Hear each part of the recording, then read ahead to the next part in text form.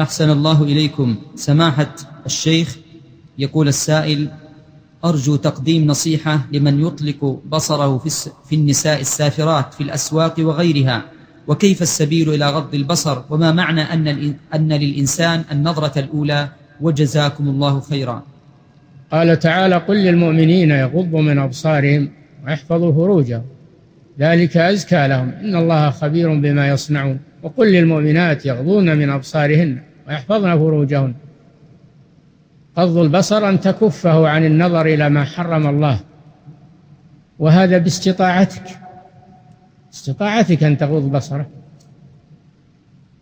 لا يكلفك الله إلا ما تستطيع. باستطاعتك أن تغض بصرك وأما لك النظرة الأولى اللي غير مقصودة. النظرة غير المقصودة. إذا وقع نظرك من غير قصد على امرأة فالنظرة الأولى هذه معفوة. لأنها ليس باختيارك.